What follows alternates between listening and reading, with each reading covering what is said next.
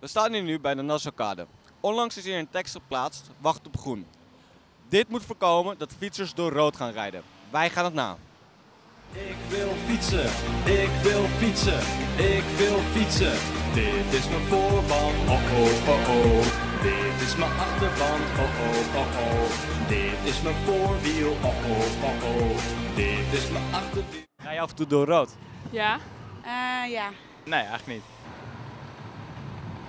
Denk je dat deze tekst werkt? Wacht op groen. Ehm, nee. Goed, denk ik. Dat helpt ook voor jou. Nou ja, als ik door rood rijd, dan rijd ik er overheen en lees ik het niet. Denk het niet. Waarom niet?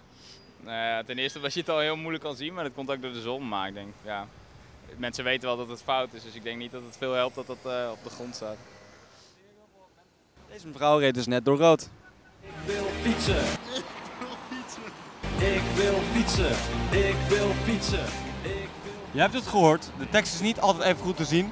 En jongeren rijden alsnog door rood. Dit is mijn achterband, oh oh oh oh. Dit is mijn voorwiel, oh oh oh oh.